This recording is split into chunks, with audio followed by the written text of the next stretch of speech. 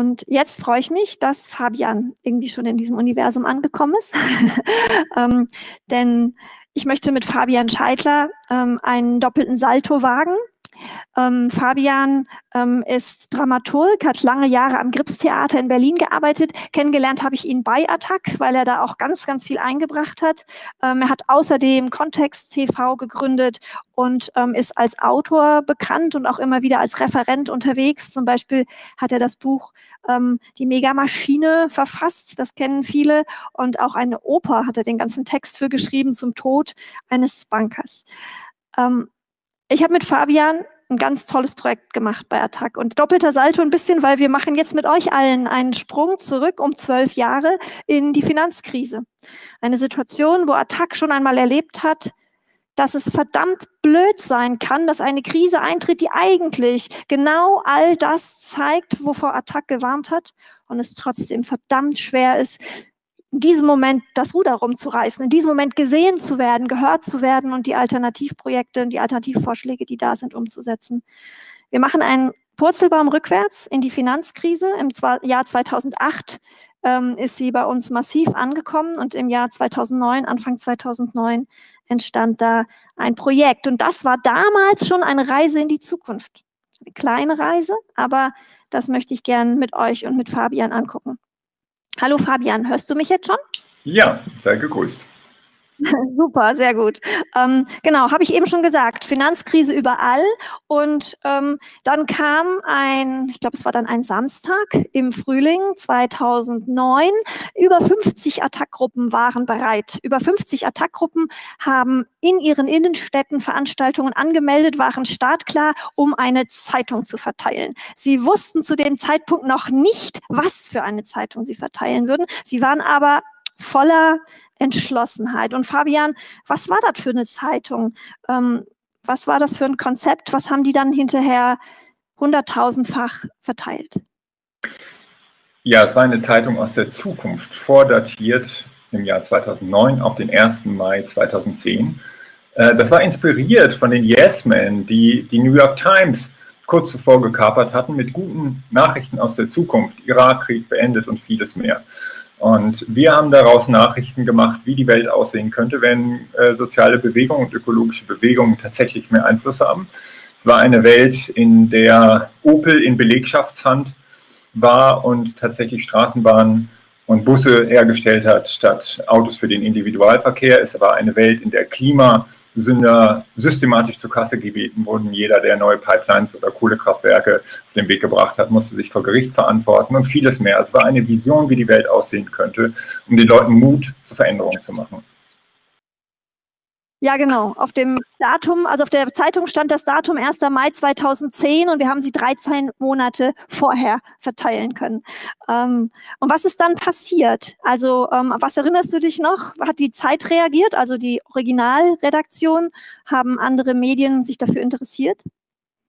Ja, allerdings. Also zunächst mal muss man sagen, dass man in den äh, Tagen und Wochen danach an die 300.000 Exemplare, ich glaube, unter die Leute gebracht hat. Also enorme Mengen. Die Attackgruppen waren wirklich auf Zack, haben überall in Fußgängerzonen und so verteilt. Das war dann am Abend im Heute-Journal sehr groß. Das war quasi in allen großen Online-Medien, Spiegel und so weiter, war es drin. Äh, auch Giovanni Di Lorenzo äh, reagierte schnell. Er hat relativ cool reagiert auf die Frage, ob er das jetzt eine Anzeige gibt und das juristisch verfolgt werden muss, weil es war ja ein Plagiat, hat er nur gesagt, sehr gut gemacht. Ne? Und dann hat er uns tatsächlich, ähm, Jutta und mich, äh, zu einer Blattkritik eingeladen. Das machen die jeden Freitag. Da sind normalerweise so Leute wie Bundesfinanzminister und Porsche-Vorstände und so. Und wir wurden also eingeladen, das Blatt zu kritisieren und wir haben dann tatsächlich auch Kritik äh, an bestimmten Verflechtungen äh, des, äh, der Edelfedern und des Top-Journalismus mit der Finanz- und äh, Politikelite kritisiert. Das war eine sehr spannende Sitzung gab. Ich erinnere mich an eine sehr lustige Episode damals. Ähm, ich hatte einen Radioreporter, der wollte wissen, was ist da passiert. Und ich habe ihm dann gesagt, ja, wir haben das layoutet, wir haben das gemacht und wir hatten einen Etat von 10.000 Euro. Und dann hat er sich bedankt, hat aufgelegt und fünf Minuten später ruft er an und sagt, mein Chefredakteur sagt, ich soll nachfragen. Sie wollten doch 100.000 Euro sagen, oder? Ähm, das hätte ich nochmal eine Frage auch an dich, Fabian. Wie ist es gelungen, das Ding auf die Beine zu stellen? Weil Attac ist ja keine Zeitungsredaktion. Ja, uns ist es gelungen, weil Attac äh, einen recht guten Ruf hatte und gut connected war, ähm, auch mit äh, Journalisten. Harald Schumann hat zum Beispiel für uns geschrieben, Daniela Dahn, Heribert Prantl. Und es ist uns also gelungen, einige gute investigative Journalistinnen und Journalisten einzubinden und natürlich auch einige Attackis, die sehr viel Expertise haben. Es war manchmal nicht leicht, ähm, die Leute von dem Format des Blattes zu überzeugen. Das war eine neue Art zu schreiben nicht ironisch, sondern ernst gemeint, aber schon auch mit Witz, ähm, sich eine andere Zukunft vorzustellen. Und da braucht man sehr viel Imagination. Man berichtet also nicht über die Machenschaften der Mächtigen und über die Vergangenheit, sondern über eine Zukunft. Und das war für viele Schreibenden, glaube ich, teilweise eine Herausforderung, aber auf jeden Fall auch ein großer Gewinn. Das glaube ich auch. Auf jeden Fall ist es ein Fall gewesen, wo Attac so etwas wie Visionskompetenz bewiesen hat.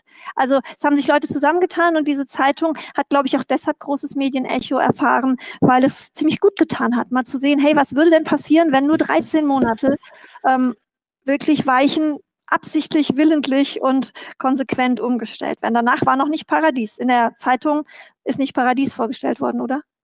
Nein, wir haben realistische Pfade aufgezeigt, die tatsächlich innerhalb von ein paar Jahren verwirklichbar wären. Und man sieht ja, man kann eigentlich viel mehr machen. Wir haben auch globale Perspektiven entwickelt, zum Beispiel, dass eine Weltwährung auf dem Weg ist, wie sie Keynes schon in den 40er Jahren angedacht hat, ähm, äh, ein Bankor, der also die Handelsdefizite zwischen Nord und Süd langfristig beseitigen kann. Also viele Visionen, die tatsächlich seit Jahrzehnten da sind, einfach konkret in die Tat umgesetzt. War also keine Utopie vom Typ, was könnte man alles machen, wenn ich König von Deutschland wäre, sondern äh, was sind reale Pfade für eine tiefgreifende Transformation. Super. Ich freue mich sehr, dass Fabian jetzt hier noch in der Leitung bleibt, denn es geht jetzt gleich weiter mit dem nächsten Punkt und wir machen das noch weiter mit diesen Zeitsprüngen und den Zukünften. Ich muss noch eine Anekdote loswerden. Ähm, kurz nachdem unsere Zeitung verteilt worden ist, waren die Yes-Men mal wieder in Berlin bei einem Kongress und ich bin stolz wie Oskar zu denen hingelaufen, habe denen unsere Zeitung präsentiert und habe gesagt, guckte mal, wir haben 350.000 Exemplare verteilt, aber leider immer noch nur ein Drittel von dem, was ihr verteilt habt. Wir haben überall hier in Europa verfolgt, dass eine Million Zeitungen der Yes Man rechtzeitig auch mit dem, Zus ähm, mit dem Zukunftssprung und vor der Wahl des damaligen US-Präsidenten verteilt worden sind. Und da hatte er sich erstmal schlapp gelacht und hat gesagt, ja, Attack ist auch reingefallen. Wir haben nur 50.000 produziert. Man kann ja sagen, dass es mehr waren. okay, Zukunftssprünge. Jetzt sind wir zwölf Jahre weiter, im Jahr 2021. Und ähm, wir haben zwei, vor allem zwei Zukunftssprünge heute in den Nachmittag noch hineingeholt. Ähm, der eine kommt aus der Friedensbewegung. Das finde ich sehr, sehr schön, weil Attac immer schon auch oder ja der, einfach von der Gründungsgeschichte und Vorgeschichte ein Stück in der Friedensbewegung wurzelt. Für mich war die Friedensbewegung schon alt, als Attac noch ganz, ganz frisch war. Und jetzt ist es die Friedensbewegung, die 20 Jahre später für uns, mit uns noch ein Zukunftshopser anbietet. Wir haben nämlich von der IMI in Tübingen ähm, gleich ein Video. Da seht ihr und hört ihr Claudia Heid und Jürgen Wagner. Die beiden machen einen Zukunftssprung, beziehungsweise Claudia macht Zukunftssprünge zum Thema Frieden, Militarisierung, Krieg und das Gegenmodell dazu. Und Jürgen untermauert das immer wieder nochmal mit tagesaktuellen Fakten.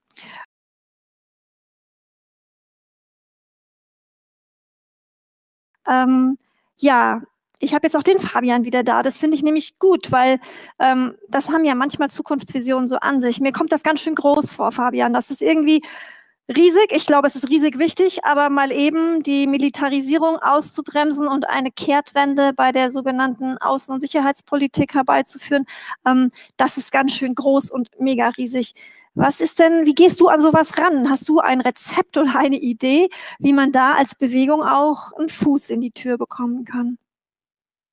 Ja, also zunächst mal äh, ist ja das, was uns durch den Klimawandel und durch die Biodiversitätskrise, die genauso schwerwiegend ist, ins Haus steht, sowieso ein enormer Wandel, den wir brauchen. Und wir müssen im Großen denken, think big, natürlich die Arbeit im Detail auch machen, aber wir brauchen große Umbaupläne und dazu gehört eben, das haben die Kolleginnen von der INI auch schon angesprochen, ein Umbau der gesellschaftlichen Sektoren.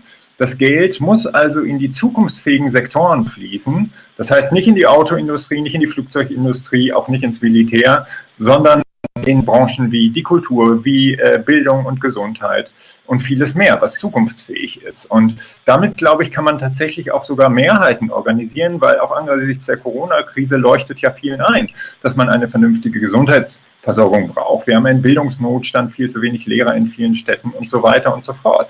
Und der Internationale Währungsfonds schätzt, dass die Staaten weltweit jedes Jahr die fossilen Energien, also Öl, Kohle und Gas, mit 5000 Milliarden Dollar subventionieren. Also die Steuerzahler subventionieren die Zerstörung des Planeten. Und das müssen wir umkehren. Wir müssen das staatliche Geld in die richtigen Branchen schicken, wo tatsächlich natürlich auch viele gute Jobs, gut bezahlte Jobs entstehen können, wo man auch soziale Umverteilung machen kann. Das geht nicht anders. Der ökologische Umbau geht nur mit sozialer Gerechtigkeit zusammen und mit weniger Militär. Und dazu vielleicht noch eine ergänzende Zahl, wenn man sich nur mal den Kultursektor anguckt. Der deutsche Staat gibt 0,35 Prozent des Bruttoinlandsproduktes für Kultur aus. Das ist ein Witz. Das Militär, der Militäretat ist mindestens fünfmal so hoch und steigt. Also da ist sehr viel Spielraum nach oben, zum Beispiel ein 2-Prozent-Ziel statt für das Militär für die, den Kultursektor zu fordern und vieles mehr. Ich glaube, da kann man als Bewegung sehr gut punkten. Und vielleicht noch ein konkreter Punkt zu äh, einer Sache, die angesprochen worden ist, nämlich der Atomwaffenverbotsvertrag, der tatsächlich in der UN ein ganz wichtiger Schritt gewesen ist, von 120 Staaten auf den Weg gebracht. Und es ist ein absoluter Skandal, dass die Bundesregierung sich weigert, da auch nur mitzuverhandeln. Das geschah auf Weisung des Pentagons. Das Pentagon hat einen Brief geschrieben vor einigen Jahren an sämtliche NATO-Mitglieder, an diesem Vertrag äh, verhandelt ihr bitte nicht mit. Und das ist ein Skandal, den man, glaube ich, auch immer wieder öffentlich machen kann, weil neben dem Klimawandel und der Biodiversitätskrise ist, äh, sind die Atomwaffen das, was unser Überleben am unmittelbarsten gefährdet. Also du hast dann, du weißt dann schon auch, du würdest auch als Aktivist auf einzelne Missstände hinweisen und dann sagen, hey Leute, das ist ein Skandal, das ist ein Beweis dafür, ein Beleg dafür und gemeinsam kämpfen wir für die große Transformation. Also ich finde, wir brauchen beides. Wir brauchen natürlich die Arbeit an den Details und an einzelnen Punkten, aber wir brauchen auch große Bündnisse, um in Krisen wie der Corona-Krise oder der Finanzkrise vor zwölf Jahren als Bündnisse handlungsfähig zu sein, weil in diesen Krisen, und leider werden wir wahrscheinlich mehr von diesen Krisen bekommen, Finanzkrisen, ökologische Krisen, weitere Pandemien, in diesen Krisen können wir nur als soziale Bewegung und kritische Zivilgesellschaft handlungsfähig werden, wenn wir, wenn nicht jeder sein eigenes Programm macht. Und deswegen glaube ich, ist es ganz wichtig, Bündnisse für kommende Krisen zu schmieden mit einem gemeinsamen Minimalprogramm, wo man dann handlungsfähig wird. Denn in der Krise wird sehr schnell sehr viel Geld ausgegeben und Weichen für die Zukunft gestellt. In der Corona-Krise wurde das Geld jetzt wieder für die Lufthansa, die Autoindustrie, die Digitalkonzerne und so weiter ausgegeben. Und ich glaube, es ist ganz wichtig, vorbereitet zu sein auf die kommenden Krisen. Okay, ich glaube, das vertiefen wir gleich nochmal, Fabian, aber ich möchte euch jetzt einmal nochmal akustisch in eine andere Welt entführen. Vielleicht gucken wir gleich nach dem Beitrag auch nochmal ein bisschen, was heißt das? Hier ist zum Beispiel zahlreiche Leute von der Attackgruppe Frankfurt im Saal. Ähm, was macht ihr denn in Frankfurt dann? Was kommt da auf die Banner? Was sind die Aktionsideen? Und wir haben auch bundesweit zugeschaltet über 60 Menschen, die gerade diese Abschlussveranstaltung mit anschauen wollen. Ich möchte euch jetzt in eine Hörwelt mitnehmen. Ähm, ich freue mich da sehr drauf. Ich habe selber mal Radio gemacht und finde das immer eine ganz großartige Form der Kommunikation. Die Idee ist beim Attack Frühlingsratschlag 2019 ausgebrütet worden. Die Menschen dahinter nennen sich jetzt Audio Utopistas. Und da arbeiten unter anderem mit der Ulrich Biermann, der Walter Grö, Margarete Steinrücken, Thomas Pfaff und Gerhard Klaas. Und die haben, ich glaube, die haben sich auch, also kennt ihr wahrscheinlich auch von das berühmte Buch von George Orwell ähm, 1984, ähm, ja ein ganz dystopischer Roman mit einer Gesellschaft mit Überwachung und Gehirnwäsche. Und die haben sich aber gesagt, okay, 1984, das liegt in der Vergangenheit. Wir sagen jetzt mal 2048, ähm, drehen vorne das Jahr, Jahrhundert weiter und hinten die Zahlen um. Und dann haben sie eine Utopie gestrickt, wie ja so Eindrücke aus einer Lebens- und Arbeitswelt in 2048. Ton ab.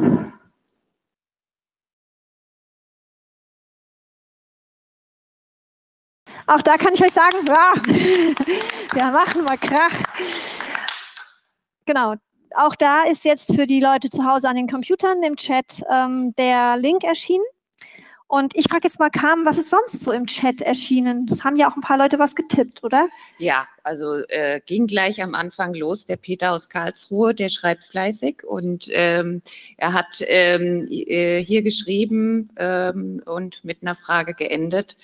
Ähm, äh, Purzelbaum in die Finanzkrise. Sind wir Attac denn für die nächste Finanzkrise besser vorbereitet und äh, gerüstet, wenn die kommt?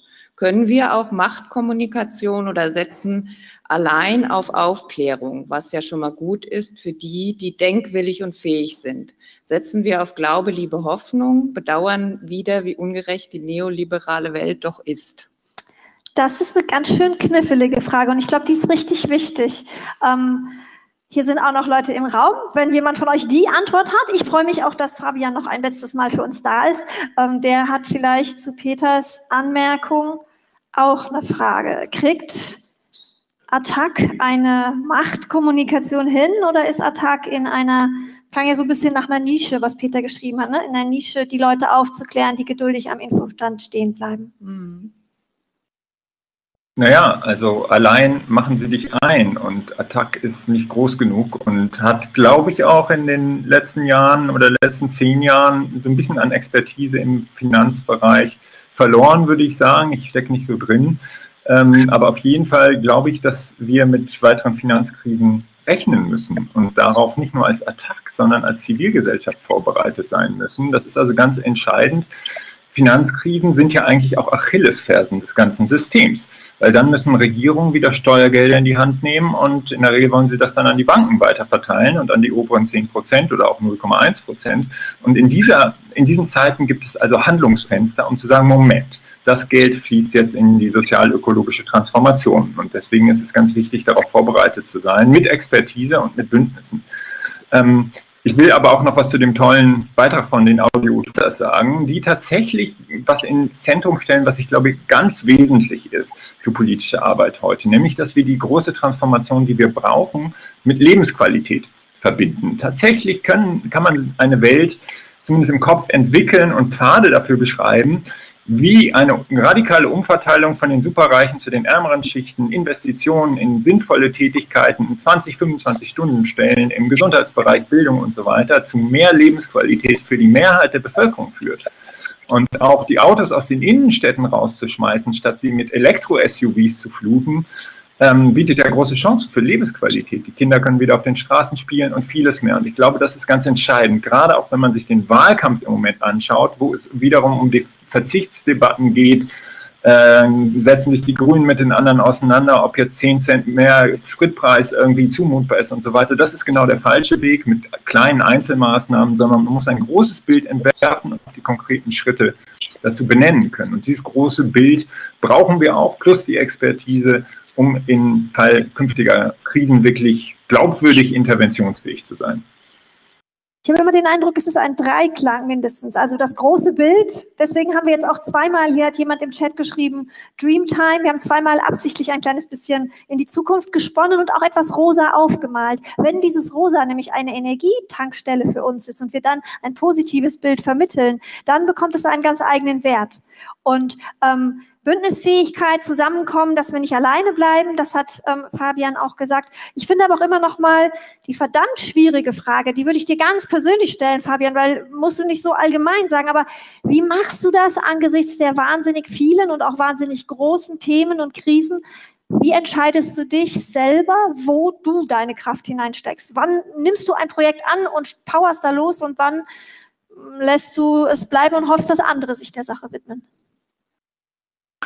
Das ist eine sehr schwierige Frage, denn oft ist es äh, eigentlich auch von meiner eigenen Motivation abhängig. Es ist sehr schwierig, so, nur vom Kopf zu entscheiden, äh, das ist jetzt wichtig und da stecke ich meine Energie rein, weil das Herz muss eben auch dabei sein. Das ist eben ganz entscheidend. Und äh, der nächste Punkt ist, äh, wer ist überhaupt noch mit dabei? Und äh, das war bei Attac für mich eine ganz wesentliche Erfahrung, ähm, dass äh, meine Mitstreitenden mich extrem inspiriert haben und äh, dass bestimmte Konstellationen von Mitmenschen eben auch neue Ideen generieren und äh, einen auf ganz neue Ideen bringen, wie auch das Zeitplagiat. Das ist aus einer relativ kleinen Gruppe von Menschen entstanden und viele andere Projekte in Attac, die Wasserprivatisierung in Berlin rückgängig zu machen. Das war eine relativ kleine Gruppe, aber von Leuten, die sich sehr gut verstanden haben, auch gestritten haben natürlich, aber ähm, die äh, sozusagen zu Brutzellen von neuen Ideen wurden. Und das brauchen wir auch. Okay.